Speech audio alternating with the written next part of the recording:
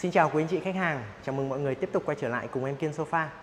Hôm nay thì em sẽ giới thiệu với mọi người một bộ à, sofa được sản xuất từ chất liệu gỗ gõ đỏ Pachi.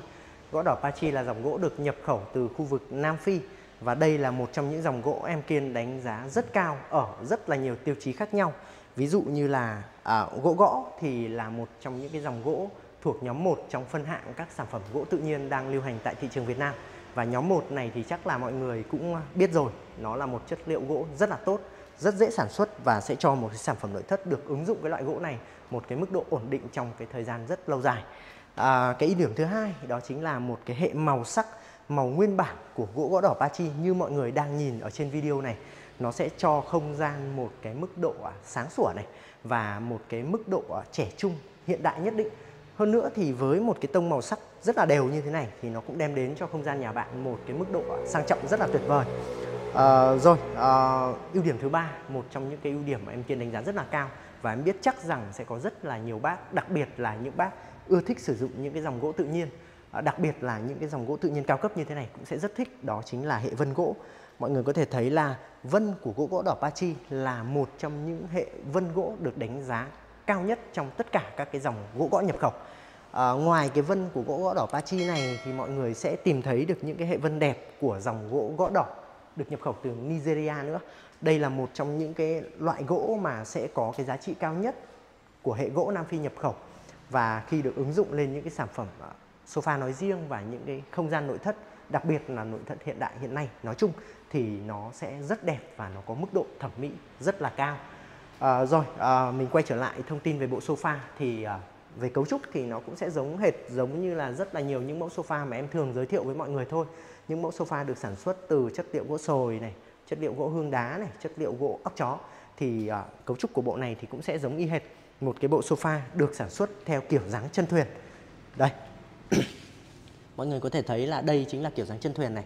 Uh, nó được mô phỏng giống như là hình ảnh của một cái chiếc thuyền như vậy đó một cái hệ thuyền thì thường là nó sẽ có cái hệ vai bệ nó giống như là một cái chiếc thuyền đang nổi trên mặt nước đúng không mọi người? Và đặc biệt là cái hệ chân thì nó giống như là đối xứng với cái hệ vai vậy. Và nó sẽ tạo ra một cái hệ cấu trúc đó chính là hệ vai chân kép mà em Kiên đánh giá rất cao trong rất là nhiều video của mình. Đặc biệt là mẫu này thì vẫn đang là mẫu sofa bán chạy nhất trong giải sản phẩm sofa mà em Kiên đang kinh doanh hiện tại. Ít nhất là tới tới tới tới, tới thời điểm hiện tại mọi người nhé. À, rồi à, về bộ sofa thì nó sẽ bao gồm có 3 phần ngồi bao gồm có đôn cấu trúc một đệm ngồi này văng cấu trúc hai đệm ngồi và văng lớn nhất với cấu trúc là ba đệm ngồi. Thì khi mọi người ngay uh, khi mà bước vào phòng khách một cái thì mọi người sẽ được uh, tiếp xúc với cái chiếc đôn đầu tiên. Cái đôn này thì có kích thước rất là nhỏ gọn và đặc biệt là nó di động. Đó nó có thể uh, uh, đưa ra bất cứ một cái vị trí nào trong không gian phòng khách một cách rất là linh động và nó sẽ vừa tạo ra những cái phần ngồi đây phần ngồi về công năng sử dụng này. Nó vừa là một cái sản phẩm trang trí giúp cho bộ sofa trở nên đầy đặn hơn rất là nhiều. Về cấu trúc thì vẫn có bệ tùy tay và phần uh, mặt táp ngăn kéo bên này và mặt tép ở ngay bên trên thì sẽ được sử dụng những cái tấm gỗ có cái nước vân đẹp nhất. Và ngay bên dưới thì sẽ là uh, ngăn kéo ngăn kéo giúp cho mọi người để uh, thêm những cái đồ dùng giúp nâng cao công năng sử dụng. Rồi đối diện với cái đôn này sẽ là một cái ờ, phần uh, ghế một cái phần văng ngắn này với cấu trúc hai đệm ngồi phần ghế lớn thứ hai này thì có chiều dài là 1m80 chiều rộng là 85cm chiều cao thì nó có hai cao độ mà em muốn giới thiệu với mọi người. Đầu tiên đó chính là chiều cao tính từ mặt sàn lên đến phần ngồi bằng gỗ. Đó. À, chiều cao này thì thông thường với những cái mẫu sofa được sản xuất theo kiểu dáng hiện nay thì để hài hòa và có một cái cấu trúc cân xứng thì nó sẽ có cái chiều cao từ 25 cho đến 26 cm đó. À, và cái cao độ thứ hai đó chính là phần chiều cao tính từ mặt sàn lên đến mặt đệm đi kèm ở bên trên. Mặt đệm này thì thông thường sẽ có những cái chiều dày của mặt đệm là khoảng 18 cm cho đến 20 cm và cái chiều cao tổng thể tính từ mặt sàn lên đây thì nó sẽ rơi vào từ 3 43 cho đến 45 cm. Một cái chiều cao cũng vô cùng là vừa vặn để mọi người có một cái tư thế ngồi thoải mái, ngồi có thể dựng thẳng lưng hoặc là có thể tựa một cách uh, rất là vừa phải ra đằng phía đằng sau như thế này uh, giúp cho quá trình ngồi và tiếp xúc với bộ sofa lâu dài mà nó không đem đến một cái cảm giác khó chịu. Cấu tạo thì vẫn là bệ tì tay và mặt táp ngăn kéo bên này và ngay bên dưới mặt táp thì vẫn là ngăn kéo. Ngăn kéo giúp nâng cao cái công năng sử dụng. Đó, rất là tuyệt vời và bộ sofa này thì có tất cả các phần ngồi thì đều có ngăn kéo và mỗi một cái ngăn kéo thì có mặt trước đều được sử dụng những cái đường CNC chạy ngang rất là đẹp và đem đến một cái hơi hướng khá là lịch sự và hiện đại. Rồi, mình sẽ có thêm phần ngồi lớn thứ ba. Phần ngồi này thì có chiều dài là à, khoảng 2m60. Nếu như mọi người muốn cái cấu trúc 3 đệm ngồi này ngồi thoải mái thì nên bắt đầu từ 2m60 trở lên. Tại sao lại là 2m60? À, thì mọi người sẽ chia ra giúp em nhé. Phần bệ tì tay này là khoảng 20cm này và phần mặt táp ngăn kéo sẽ là khoảng 50cm. Vậy là mọi người sẽ bị cái phần gỗ này nó chiếm dụng mất khoảng à, 70cm rồi. Mỗi một bên sẽ có một cái phần lia ra bên ngoài này là khoảng 5cm đi. 5cm hai bên thì sẽ là 10cm Vậy là 80cm bị chiếm dụng với cái phần gỗ.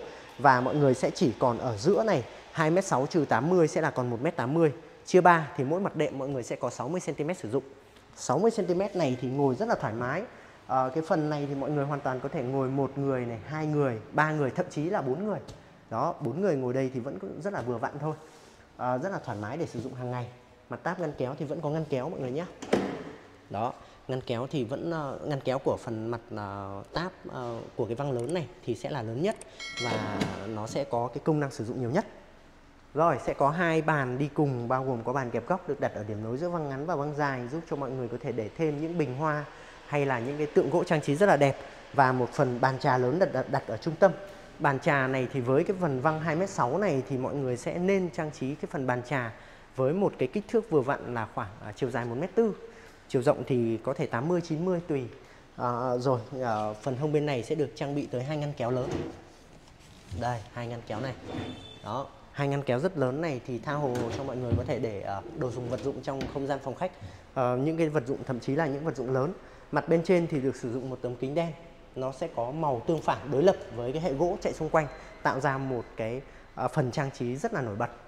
À, rồi về cơ bản là như vậy cấu trúc thì nó vẫn giống như những sản phẩm sofa mà em giới thiệu với mọi người hàng ngày thôi. Và với một cái màu sáng đặc trưng của tông gỗ gõ đỏ à, mà anh em kỹ thuật hay gọi là sơn màu trần của gỗ đấy thì nó sẽ đem đến cho không gian nội thất một cái hơi hướng rất là hiện đại và màu sắc thì cũng rất là trẻ trung. À, mọi thông tin chi tiết thì mọi người hoàn toàn có thể liên hệ với đội ngũ tư vấn để nhận về và tham khảo những đặc tính về gỗ này đặc tính về da đệm của những cái sản phẩm da đệm đi kèm đây. À, và vô số những cái thông tin khác mà bên em vẫn luôn luôn sẵn sàng những cái quy trình tư vấn làm sao để mọi người hiểu nhất về một sản phẩm sofa mà mọi người chuẩn bị mua trang bị để sử dụng trong gia đình hàng ngày. À, thông tin chi tiết thì mọi người vui lòng liên hệ hotline của em Kiên nha. À, cảm ơn mọi người rất nhiều vì đã dành thời gian theo dõi video và hẹn gặp lại mọi người trong những video kế tiếp.